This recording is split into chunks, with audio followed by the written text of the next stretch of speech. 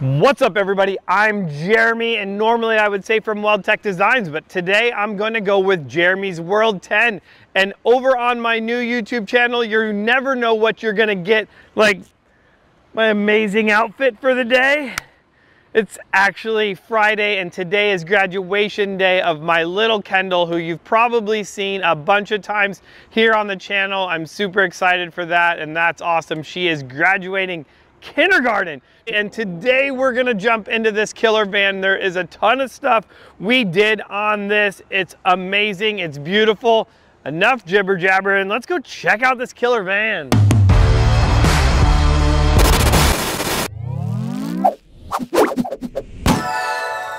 All right guys, so like over at Jeremy's World 10, we like talking about all kinds of different things from RVs to vans.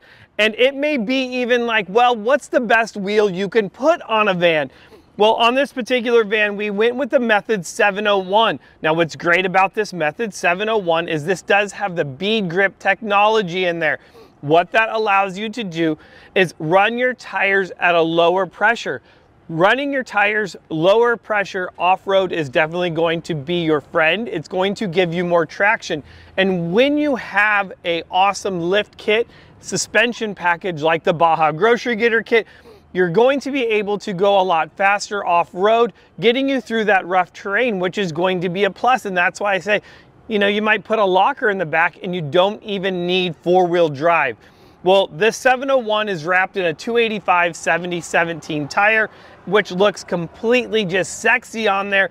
Now you may be asking, can I fit this size wheel and tire on my stock van? Well, heck, you probably could. Your fender might not look like this and you might not be able to turn, but hey, that's a minor technicality.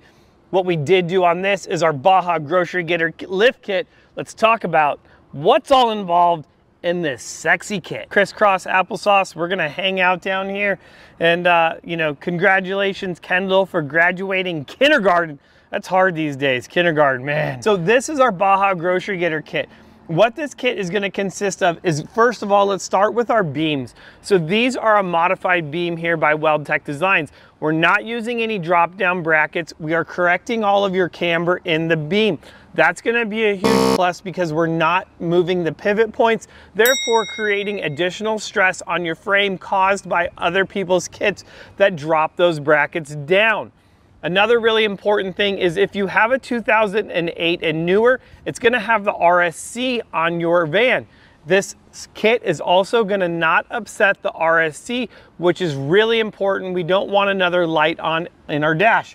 The next really important part on here is our extended radius arms. These radius arms are going to be nine inches longer than stock. They're also going to have a new radius arm bracket, which allows you to push that wheel farther forward. If you wanna run a bigger tire than a 285, it is also possible to do that. And if you wanna know how to run a 35 on your van, I'll throw up a card right here, boom, and you can go and check that out, how to run 35s on your Baja Grocery Getter kit. The next thing we've done is we've added a larger coil spring. And of course, you know we love adding our Fox shocks to the front of this.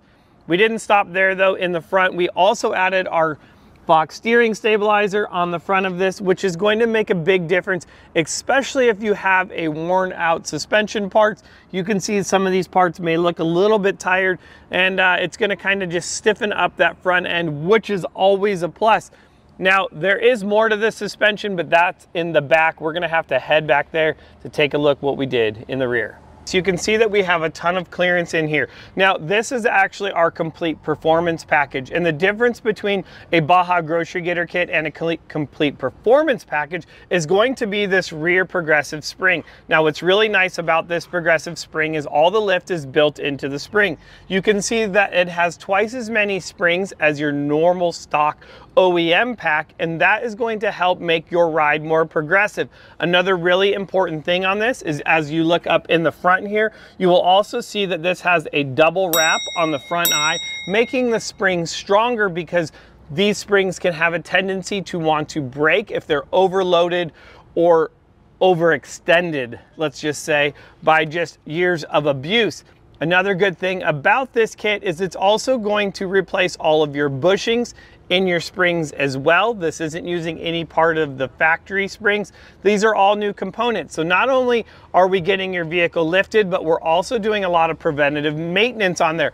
Now that you have all new bushings in the rear, with that front kit, you got new I-beam pivot bushings and new radius arm bushings. So all of your bushings in your suspension are all now new and they're pretty much gonna probably last the rest of the lifetime of the van.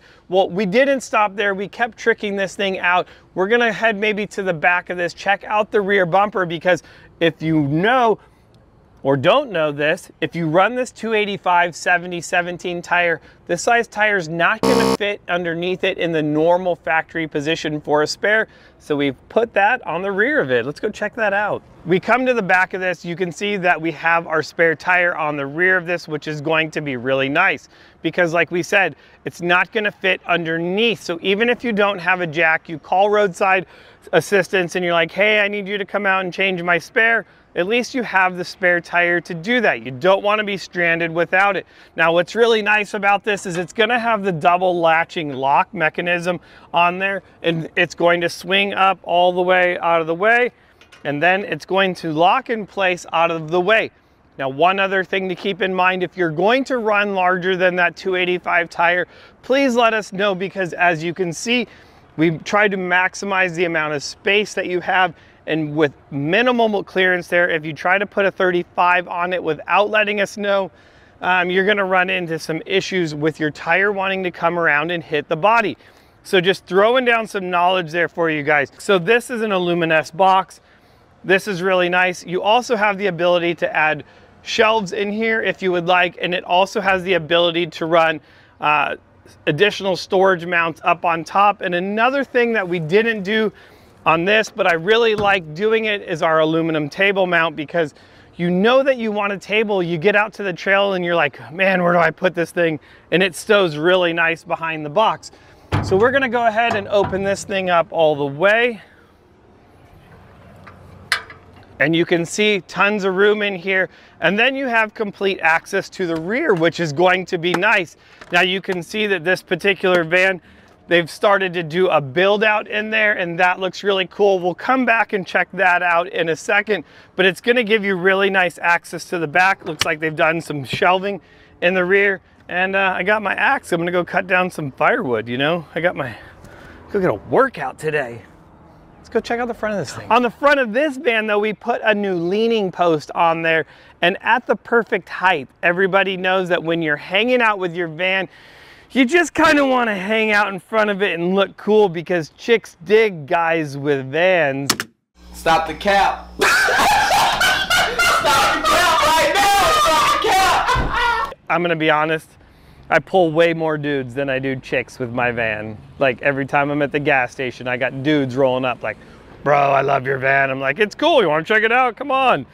Anyways, we're gonna keep doing that. I'm gonna tell you about what we did on the front of this. So guys, this is our tube winch bumper. It also has the classic top on there. So normal tube winch bumper is going to stop. It's going to be that single tube. On this one though, we gotta watch out for this guy. All right, we're gonna pause for this state. Look at this, all right. This guy right here, if you wanna know why our bumpers look so damn sexy, it's all because of this guy. This is Donnie. He's the man at ECP who makes all my dreams come true. This guy's the man. So ECP powder coating, if you're in San Diego, you need stuff powder coated, definitely hit them up. They make our parts look sexy, you know? We try. See, there goes another load of awesome parts gonna get powder coated by ECP powder coating. So that was fun, guys. Dude, see, Jeremy's World 10, you never know. It's not normal. Like, we're just having fun, talking crazy videos. Oh, look, see, the craziness. There goes Josh. Go-karts, you know? I don't know if you've seen that as well. We have Caden over at Growing Up Garage. This is just a shameless plug for different channels. Caden, Growing Up Garage, that is our nonprofit foundation at WeldTec Designs, where we're trying to further the education of kids and teach them all about tools. A lot of fun using racing. So I think we were talking about a bumper, right? So there's so much going on on this, so we might as well start from the top and work our way down. So the first thing that we're gonna have on this is gonna be these HTX lights. These things are just beast lights. I wouldn't have even called them an HTX. I mean, it's just like beast light. It's so bright. I have three of these on the front of my SEMA van. It's amazing. So what is really nice about these lights is it's going to have the HID in the center. What that HID is going to do is it's gonna give you a ton of light really far out. That's the key to that. Now it has the LED ring on the outside of the light, which is going to give you your light for the first 25 yards or so, and that is going to be a big plus. So now you're getting your front light and your light even farther out. So that's what's nice. Now it's also going to be on two different switches, so you're able to control which light you want to use. It's not like you gotta hit one switch and turn them both on. So that's going to definitely be a plus. The next thing we have as we're working our way down, we're talking about lights and we have these Lightforce driving light. Now here's the key to this light. This light has three different settings. So you can turn it on like a low beam. You could control this low beam and have it come on with your headlights. Now the key to this is because this light is below your headlights, you can have it on while driving on the highway. Have another switch inside to turn it up to the highest setting. This light is going to be one of my favorite lights and it's just that because I use it the most often. I'm driving on a dark stretch of highway. I want this on. I want to get the most light I possibly can. Now, I also have the Vantage Optics headlights in my van, so I'm cheating a little bit. I got a lot of light. But these things are great and they bolt directly up to this bumper. What else bolts up to this bumper is gonna be a winch. Who doesn't love a winch? Let's go check this thing out. On the front of this, we have a 10,000 pound Smittybilt winch. Now we offer a couple different winches here at WeldTec Designs between the Smittybilt and a Warn winch. Both winches are going to be really good, but two very big different price points. This is also going to have a synthetic rope on there as well.